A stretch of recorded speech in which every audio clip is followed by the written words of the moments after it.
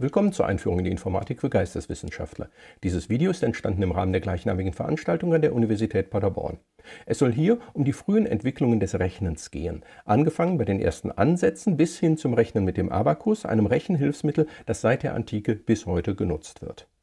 Ähnlich wie bei der Schrift beginnt auch zumindest das Zählen, aus dem sich dann später das Rechnen entwickelt, in prähistorischer Zeit. Zählen konnte man beispielsweise natürlich einfach mit Steinen, die man irgendwo ablegte. Das war eine Externalisierung, die bestimmte Dinge sehr gut erlaubte, wie beispielsweise etwas hinzufügen, also zu addieren, wie wir heute sagen würden, oder etwas wegzunehmen, also zu subtrahieren, wie wir heute sagen würden. Eine andere Externalisierung stellt ein Kerbholz dar. In ein mehr oder weniger langes Stück Holz werden dort Kerben eingeritzt. Diese externe Repräsentation erlaubt noch recht einfach das Addieren, nicht aber das Subtrahieren.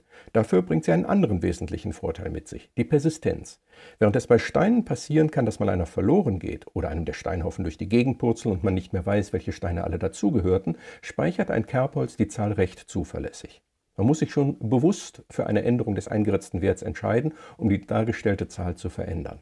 Und bei größeren Zahlen könnte das Kerbholz auch leichter zu transportieren sein als ein Haufen Steine. Nutzen kann man solche Techniken, Steine wie das Kerbholz, zunächst einmal vor allem für einfache Zählaufgaben. Wenn man seine Schafe zählen möchte, bringt man kurzerhand für jedes Schaf eine Kerbe an bzw. fügt einen Stein zu dem Zählhaufen hinzu. Möchte man zu einem späteren Zeitpunkt feststellen, ob noch alle Schafe da sind, lässt man diese beispielsweise an einem Gatter vorbeilaufen und legt den Finger immer eine Kerbe weiter oder legt einen Stein auf einen anderen Haufen. So kann man am Ende sehr leicht feststellen, ob auch wirklich alle Schafe da sind oder möglicherweise ein paar zu viele da sind. Im Fall der Steine steht so ein Stein jeweils für ein einzelnes zu zählendes Objekt. Wir könnten auch unterschiedliche Steine für unterschiedliche Objekte verwenden. Die kleinen Kieselsteine, die man früher für diesen Zweck verwendet hat, nannten die Römer Kalkuli. Und daher kommt auch noch heute unser Begriff des Kalkulierens bzw. der Kalkulation. Wie eben schon angedeutet, bieten sie gegenüber einem Kerbholz die Möglichkeit, einfache Rechenoperationen durchzuführen, insbesondere die Addition und die Subtraktion. Wenn ich zwei Zahlen addieren möchte, lege ich einen Haufen Steine hin, der den ersten Summanden repräsentiert. Ein zweiter Haufen Steine repräsentiert den zweiten Summanden. Um die Addition vorzunehmen, schmeißen wir einfach den zweiten Haufen auf den ersten und schon haben wir die Addition vorgenommen. Das Zählen, also gewissermaßen das Ermitteln der Zahl, für die dieser Haufen nun steht, dauert natürlich ein bisschen länger. Die Frage ist nur, ob und wofür ein die Zahl, falls man eine solche als Konzept überhaupt schon hat, denn das war in der Frühzeit nicht der Fall, überhaupt interessiert. Denn das Zählen meiner Schafe, um bei dem Beispiel von eben zu bleiben, funktioniert bei der größeren Herde ja ebenso wie zuvor. Die Subtraktion geht natürlich genauso einfach, indem man Steine wegnimmt. Über die Multiplikation muss man mal einen Moment nachdenken, aber dann sieht man recht schnell, dass auch die gar nicht so kompliziert ist. Und für eine Division muss man noch einmal ein bisschen länger nachdenken, aber auch da wird einem recht schnell ein Verfahren einfallen, wie man das machen kann. Ein rein formales Verfahren, das man durch striktes Befolgen einfacher, eindeutiger Regeln durchführen kann. Einen Nachteil dieser Steine hatte ich eben schon angesprochen. Es kann leicht einmal einer verloren gehen, insbesondere wenn man diese Steine an eine andere Person übergibt oder sie über größere Entfernungen und damit auch längere Zeiträume transportiert. Stellen wir uns beispielsweise eine Handelstransaktion vor, bei der wir irgendwo in Mesopotamien einige Säcke Getreide bestellt haben. Der Absender übergibt diese Säcke an den Paketboten, also den Leiter einer Karawane zum Beispiel. Nach einiger Zeit trifft diese Karawane nun bei uns ein und wir erhalten unser Getreide. Wenn die Anzahl der Säcke nun nicht mit der bestellten Anzahl übereinstimmt, möchten wir natürlich wissen, bei wem wir uns zu beschweren haben. Hat der Karawanenleiter ein paar Säcke abgezweigt oder hat der Absender weniger geschickt als vereinbart war? An dieser Stelle können Lieferscheine oder Warenbegleitbriefe helfen. Einen solchen sehen wir hier abgebildet. Der Absender nimmt eine Anzahl Steine, ebenso viele wie er Getreidesäcke verschickt, und packt diese in eine Tonkugel. Diese lässt man in der Sonne aushärten oder brennt sie, sodass man sie anschließend nicht mehr öffnen kann, ohne sie zu zerstören. Wir als Empfänger erhalten diese Kugel dann unversehrt, ansonsten steht der Karawanleiter zumindest schon mal im Verdacht einer Manipulation. Wir schlagen die Kugel auf und können nun nachsehen, ob die Zahl der Steine mit der Zahl der Getreidesäcke übereinstimmt. Wenn das der Fall ist, ist alles gut. Andernfalls hat entweder der Karawanenleiter uns betrogen oder der Absender den Karawanenleiter. Man kann sich nun Verfahren überlegen, wie man letzteres ausschließen kann, beispielsweise indem der Karawanenleiter dabei ist, wenn der Absender die Tonkugel anfertigt. Und man kann sich weitere Verfahren überlegen, wie man verhindern kann, dass der Karawanenleiter eine neue Tonkugel anfertigt und diese als das Original des Absenders ausgibt. Das wollen wir hier aber nicht vertiefen, weil das noch einmal ein ganz anderes Thema ist, das der abgesicherten und authentischen Kommunikation. Uns geht es hier im Augenblick aber nur um das Zählen und Rechnen. Eine Variante, die man hier auch anwenden konnte, um die beiden gerade genannten Ziele zu erreichen, möchte ich dennoch ansprechen, weil sie den nächsten Entwicklungsschritt darstellt. Wir können zusätzlich oder auch anstelle der Steine in einer Kugel auch Schriftzeichen verwenden, die sich nur schwer fälschen lassen. So etwas kann man beispielsweise durch ein Siegel erreichen. Und wir können Zahlzeichen verwenden, die außen auf der Kugel angebracht sind. Wenn wir solche Zahlzeichen haben, können wir dann auch ganz auf die Kugel mit den eingeschlossenen Steinen verzichten und die Zahl ist für jeden, der des Lesens dieser Zahlen mächtig ist, einfach ablesbar. Aber dafür brauchen wir eben solche Zahlzeichen und genau die gab es anfangs eben noch nicht. Mit den ersten logographischen Schriften kommen dann aber um 3000 v. Chr. auch die ersten Zahlzeichen auf. Zunächst einmal sind das einfache Kerben oder Markierungen in Tonkugeln oder auch Tontafeln, die mit einem einfachen Griffel angebracht wurden. Mit der Keilschrift kommt dann aber auch ein neues Werkzeug auf, das das Schreiben in dieser Schrift besser ermöglicht und vereinfacht. Wir hatten schon in dem Video zur Schrift darüber gesprochen, dass für das Einritzen von Keilschrift in Tontafeln ein neuartiges Schreibwerkzeug benutzt wurde. Und in der Tat waren auf dieser Tontafel neben Schriftzeichen auch Zahlzeichen zu sehen. Die Technik des Eindrückens von Zeichen in Ton wurde beibehalten, anstelle des einfachen Griffels aber nun ein Schilfrohr oder ein Stäbchen aus Knochen oder Elfenbein verwendet, das an der einen Seite rund war, damit wurden Schriftzeichen angebracht, auf der anderen Seite zu einem geraden Strich zugespitzt. Damit ließen sich dann sehr einfach Linien quasi in den Ton stempeln, statt sie mit dem Griffel zeichnen zu müssen. Dies ermöglichte dann sehr einfach die Erstellung von eckigen Formen mit spitzen Winkeln, weshalb wir diese Schrift heute Keilschrift nennen. Eine äußerst bedeutsame Erfindung ist dabei ein Ziffernsystem, das die Sumerer als eine der ersten ersonnen haben. Statt eine Zahl mit einer entsprechenden Anzahl von Elementen, also eine 137 beispielsweise durch 137 Steine zu repräsentieren, verwendeten sie ein System, bei dem Zahlen aus Ziffern gebildet werden, genau wie wir Worte in den alphabetischen Schriften aus Buchstaben bilden. Die Zahl 137 besteht also aus drei Ziffern 1, 3 und 7, wobei die Reihenfolge wichtig ist. Die Zahl 371 ist ebenfalls eine gültige Zahl, steht aber natürlich für einen ganz anderen Wert. Bei den Sumerern sieht das noch ein wenig anders aus, wie wir uns jetzt ansehen wollen. Für die Ziffern werden letztlich lediglich zwei verschiedene Grundzeichen verwendet, aber diese jeweils in einer bestimmten Art bzw. Kombination zu einem komplexeren Zeichen zusammengesetzt. Die Grundzeichen sind ein sogenannter Nagel, den wir hier bei der 1 sehen, sowie bei der 60. Die 60 ist aber ein größerer Nagel, die 1 ein kleinerer. Das wären also die beiden Arten, einen solchen Nagel zu schreiben. Es gibt als zweites Zeichen einen Winkel, den wir bei der 10 sehen. Dieser wird durch eine andere Haltung des Stifts erzeugt. Das sind die beiden Grundzeichen, die wir zur Verfügung haben, oder genauer, die die Sumerer zur Verfügung hatten. Die 600, die 3600 und die 36.000 werden nun durch Kombinationen dieser Grundzeichen geschrieben.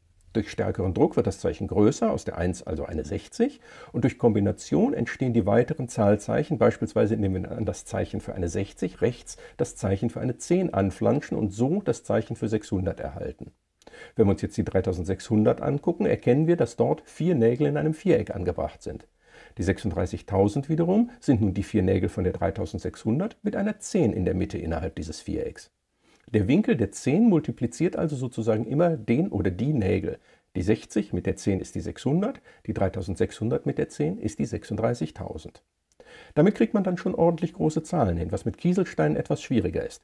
54.492 Gieselsteine möchte kein Mensch zählen oder 54.492 kleine Kerben in eine Tonkugel eindrücken ebenfalls nicht. Das wird dann schon so aufwendig, dass es zwar im Prinzip machbar ist, de facto aber nicht und daher wohl auch nicht praktiziert wurde.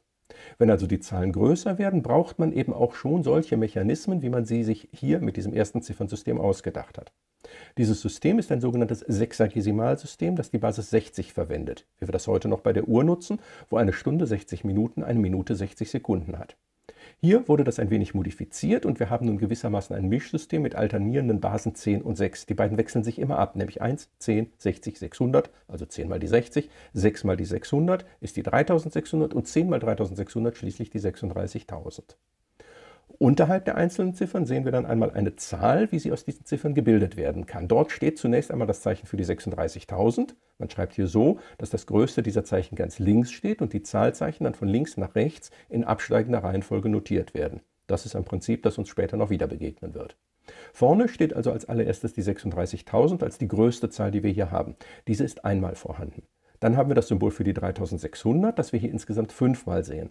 Dann folgt achtmal das Symbol für die 60, einmal das Symbol für die 10 und schließlich zweimal das Symbol für die 1. Die Zahl, die hier notiert ist, ist also 36.000 plus 3.600 mal 5 plus 60 mal 8 plus 10 plus 2.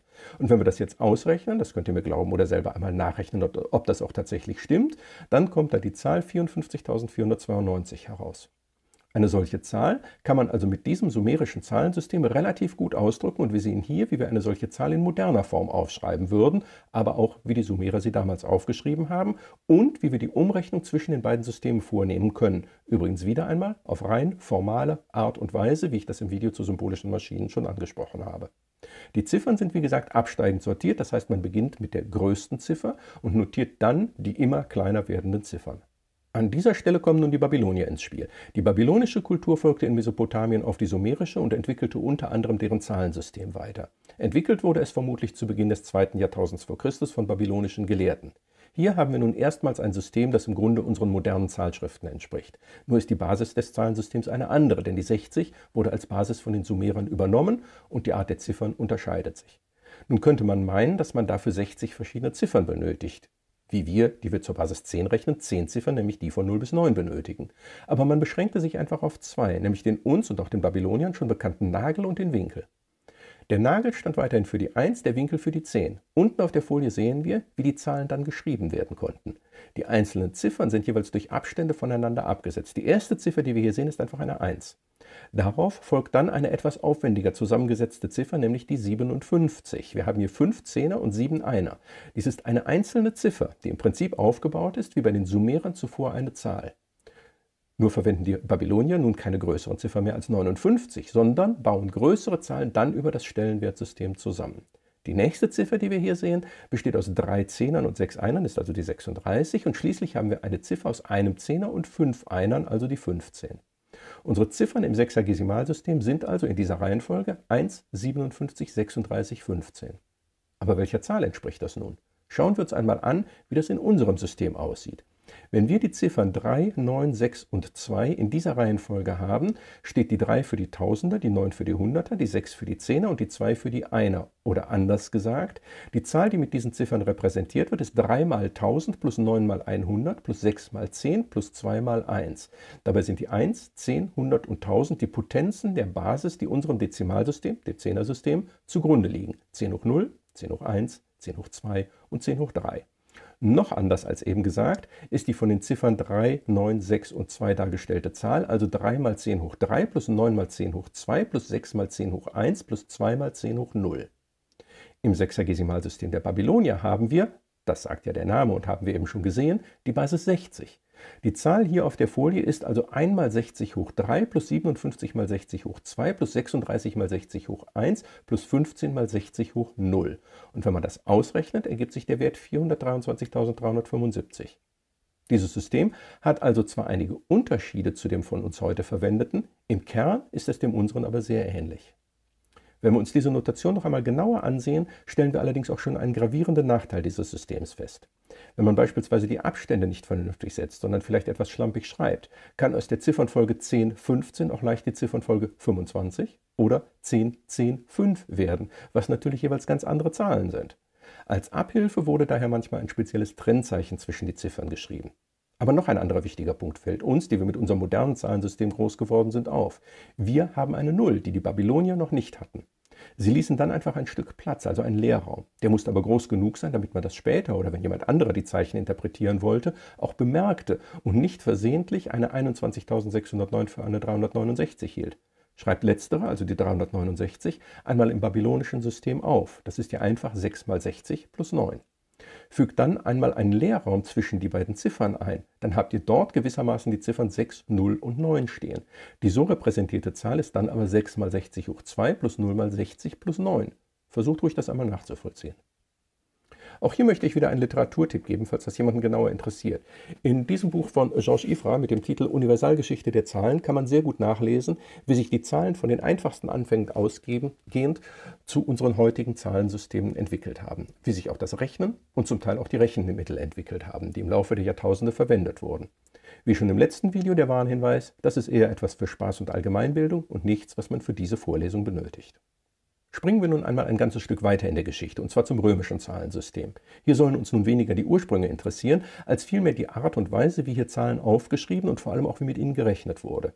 Dieses Zahlensystem ist für uns hier in Europa lange das dominierende gewesen.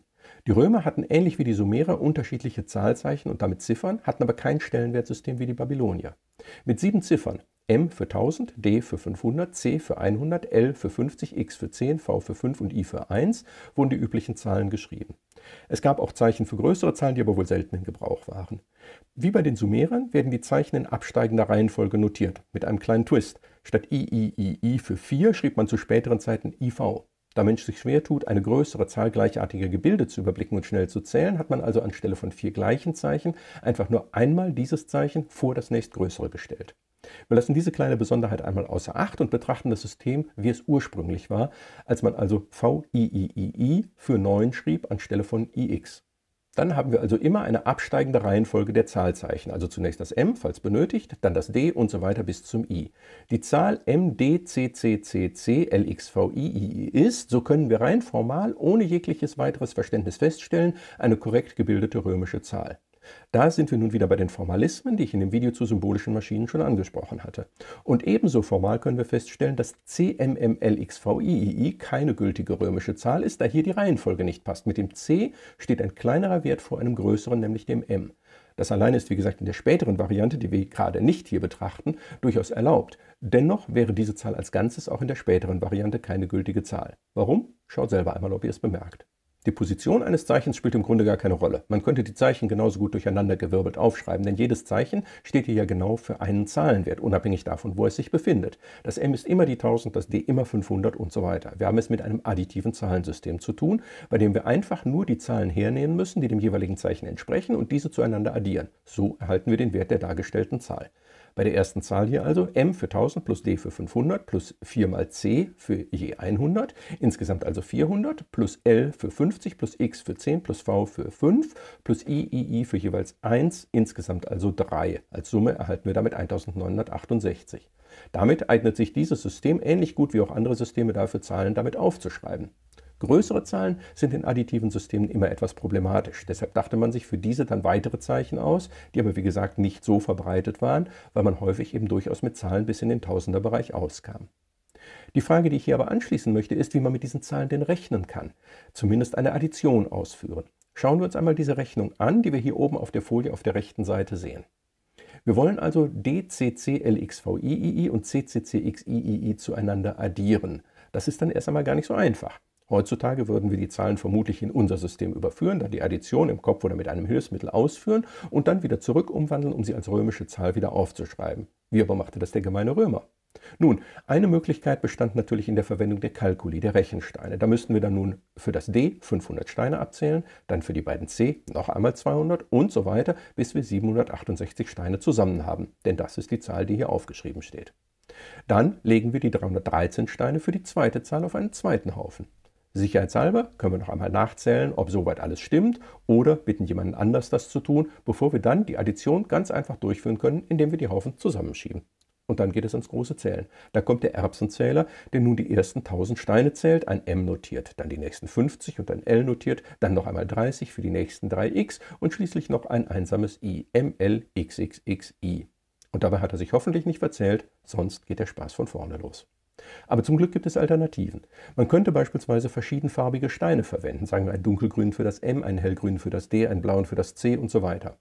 Wenn wir dann nach der Addition fünf blaue Steine haben, ersetzen wir diese durch einen hellgrünen. Haben wir zwei hellgrüne, ersetzen wir diese durch einen dunkelgrünen für das M. So bleibt die Angelegenheit schon deutlich übersichtlicher und die Rechnung ist leichter zu überprüfen, auch durch eine andere Person, die uns beim Rechnen zusieht. Eine weitere Möglichkeit, und diese war in Mitteleuropa bis ins 16. Jahrhundert hinein die vorherrschende Art, solche Rechnungen durchzuführen, ist die Verwendung eines sogenannten Rechentischs, wie wir ihn hier auf der rechten Seite der Folie schematisch abgebildet sehen. In einem separaten Video werde ich für diejenigen, die das interessiert, einmal zeigen, wie man damit rechnet und das auch wieder auf eine ganz formale Weise, die weder ein Verständnis des Prozesses noch eine Interpretation der Steine auf dem Tisch erfordert. Der Tisch ist mit etlichen Linien versehen. Da wäre zunächst einmal eine vertikale Linie. Links von dieser Linie steht die eine Zahl der erste Summand, rechts der Linie steht der zweite Summand. Die Zahlen werden hier nun wieder mit Steinen repräsentiert, wobei dieses Mal aber keine verschiedenfarbigen oder unterschiedlich geformte Steine verwendet werden, Farbe und Form sind hier vollkommen egal, sondern ausschließlich die Position der Steine wichtig ist für die Darstellung der Zahlen sowie den Rechenprozess. Wir können also beispielsweise irgendwelche Kiesel nehmen oder alte Münzen, wie beispielsweise D-Marks oder Spielsteine. Die waagerechten Linien definieren nun die einzelnen Werte. Von oben beginnend sind das also m für 1000, c für 100, x für 10 und i für 1. also einige unserer römischen Ziffern. Die Zwischenräume zwischen den Linien stehen für die übrigen Ziffern, also von oben kommt D für 500, dann L für 50 und schließlich V für 5. Nun legen wir die Steine entsprechend der Zahl, die unserem ersten Summanden entspricht, auf der linken Seite ab. Für das D kommt ein Stein in den obersten Zwischenraum, für die beiden C zwei Steine auf die C-Linie, für L, X und V je ein Stein auf die entsprechende Linie bzw. in die entsprechenden Zwischenräume und schließlich für die drei I drei Steine auf die unterste Linie. Entsprechend legen wir die Steine auf, für den zweiten Summanden auf die rechte Seite, für die 3c drei Steine auf die c-Linie, für das x einen auf die x-Linie und für die 3i wieder drei auf die unterste, die i-Linie. So haben wir jetzt jede Ziffer, die in einer unserer beiden Zahlen enthalten ist, auf dem Rechentisch durch eine Münze an einer bestimmten Stelle repräsentiert. Wir haben gewissermaßen eine Umkodierung vorgenommen von einem Zeichensystem, den Buchstaben, die für die römischen Ziffern stehen, in ein anderes Zeichensystem, nämlich Steine an Positionen. Beide Repräsentationen sind gleichermaßen gültig, beide können, entsprechende Kenntnisse des Betrachters vorausgesetzt, interpretiert werden. Beide sind äquivalent in dem Sinn, dass wir sie auf eindeutige Weise von der einen Repräsentation in die andere umformen können. Die Addition können wir nun ganz einfach ausführen, indem wir die Steine von der rechten Seite auf die linke hinüberschieben. Leider können wir das Ergebnis dann noch nicht immer unmittelbar so wieder in unsere Buchstabenfolge zurück umwandeln und so das Ergebnis wieder in römischen Ziffern notieren. Oft, und das ist auch bei diesen beiden Zahlen der Fall, müssen wir noch etwas Nacharbeit leisten. Auch diese weiteren Schritte können wir ganz formal und mechanisch wie eine Maschine ausführen. Das möchte ich aber hier nicht zeigen, sondern in einem separaten Video einmal komplett vorführen. Wenn euch das nicht näher interessiert, müsst ihr mir an dieser Stelle einfach glauben, dass das funktioniert. Neben der Addition kann man auch eine Subtraktion relativ leicht durchführen. Wie aber sieht das aus, wenn wir multiplizieren wollen?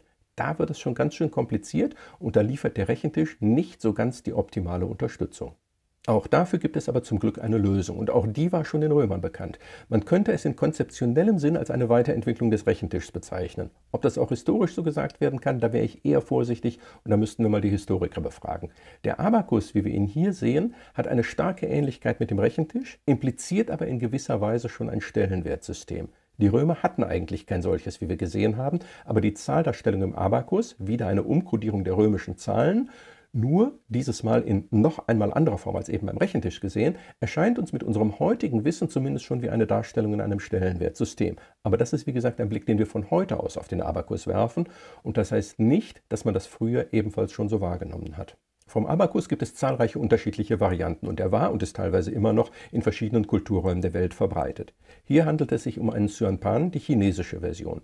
Der japanische Soroban sieht ein wenig anders aus, funktioniert vom Prinzip her aber in gleicher Weise. Ähnlich wie beim Rechentisch haben wir wieder nur eine Art von Steinen und die Position der Steine legt den kodierten Wert fest. Zum Rechnen legt man den Abakus wie auf dieser Folie zu sehen vor sich hin. Der waagerechte hölzerne Steg, der den Abakus auf zwei Drittel der Höhe in zwei Teile teilt, ist dabei ebenfalls von Bedeutung. Senkrecht verläuft eine Reihe von Stäben, auf denen die Steine oder Kugeln aufgespießt sind, was den kleinen Vorteil hat, dass man die Kugel nicht verlieren kann. Wenn man nun eine Addition durchführen will, stellt man üblicherweise den ersten Summanden rechts ein und den zweiten Summanden links. Wichtig ist aber eigentlich nur, dass man etwas Platz zwischen den beiden hat, damit man sie auseinanderhalten kann. Ich will hier nur einmal zeigen, wie man eine einzelne Zahl einstellt. Wie dann eine Addition durchgeführt wird, zeige ich wieder in einem separaten Video für diejenigen, die das interessiert. Alle anderen mögen mir bitte wieder einfach glauben, dass man eine solche Operation durchführen kann.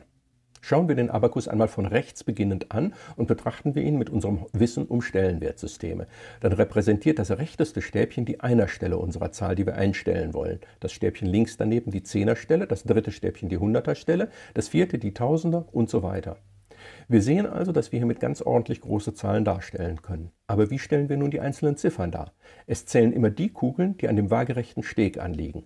Die linken neun Ziffern sind hier also alles Nullen, denn wir haben hier nur eine vierstellige Zahl eingestellt. Die Kugeln im unteren Bereich zählen jeweils 1, jede Kugel dort entspricht also einem Stein auf einer der Linien des Rechentischs. Die Kugeln im oberen Bereich zählen jeweils 5, entsprechen also jeweils einem Stein in einem der Zwischenräume des Rechentischs. Ganz rechts liegen bei der hier dargestellten Zahl vier Kugeln an dem Steg an. Wir haben hier also die Ziffer 4. Links daneben liegen drei Kugeln am Steg, also haben wir hier die Ziffer 3. Auf dem dritten Stäbchen sind keine Kugeln am Steg, also ist dies eine 0. Auf dem vierten Stäbchen schließlich haben wir unten vier Kugeln, das wäre eine 4, aber auch oben liegt eine Kugel an, die wie gesagt 5 zählt, sodass an diesem Stäbchen also die Ziffer 9 eingestellt ist. Insgesamt haben wir jetzt von links gelesen, also die Ziffernfolge 9034 eingestellt, das heißt die Zahl 9034. Für uns mit unserem indisch-arabischen Stellenwertsystem ist das gut ablesbar. Die Römer haben eine etwas andere Variante genutzt, die für ihr Zahlensystem besser geeignet war. Jetzt stellt sich die Frage, wie man damit nun rechnen kann. Die Addition werde ich wie gesagt in einem separaten Video zeigen. Man kann mit dem Abakus natürlich auch subtrahieren, aber tatsächlich sogar multiplizieren, dividieren und die Wurzel ziehen. Das sind dann aber recht komplexe Verfahren, die zwar wieder rein formal sind und die man daher mechanisch wie eine Maschine ausführen kann, aber ich beherrsche sie nicht und kann sie daher auch nicht zeigen. Für alle diese Verfahren könnten wir aber die genauen Regeln aufschreiben, die uns sagen, was man mit den Kugeln unter welchen Bedingungen machen soll. Würden wir dann einfach diese Regeln befolgen, könnten wir eine Berechnung durchführen, ohne dass wir verstanden haben, was wir da tun. Im Grunde, ohne dass wir überhaupt bemerkt haben, dass wir rechnen. Normalerweise wissen die Leute, die mit diesen Rechenhilfsmitteln umgehen, natürlich schon, was sie da tun und dass sie rechnen. Aber notwendig ist das nicht. Das ist genau das, was ich im Video zu den symbolischen Maschinen schon angesprochen habe. Man kann ohne Sinn und Verstand einfach den Regeln folgen und dabei dennoch etwas Sinnvolles tun. Und dabei haben wir lediglich Regeln befolgt, die sich ausschließlich auf die Anordnung der Zeichen, hier also der Kugeln, beziehen. Ein solcher Prozess lässt sich vom Prinzip her, und das ist der Grund, warum wir uns das hier angesehen haben, an eine Maschine delegieren. Wenn wir denn eine Maschine hätten, die zum einen die Zahlen hier am Abakus einstellen kann und die zum zweiten dann insbesondere die Kugeln nach gegebenen Regeln bewegt. Dafür bräuchte man dann so etwas wie einen kleinen Roboter. Den hatten die Römer natürlich damals noch nicht und als sie den Abakus erfunden haben, hatten auch die Chinesen einen solchen noch nicht. Soweit soll uns das als kleiner Einblick in die Geschichte der Zahlen und des Rechnens in der Frühzeit, das heißt von den Anfängen bis in das 16. Jahrhundert hinein, genügen. Das war es also für den Moment. Tschüss, bis zum nächsten Video.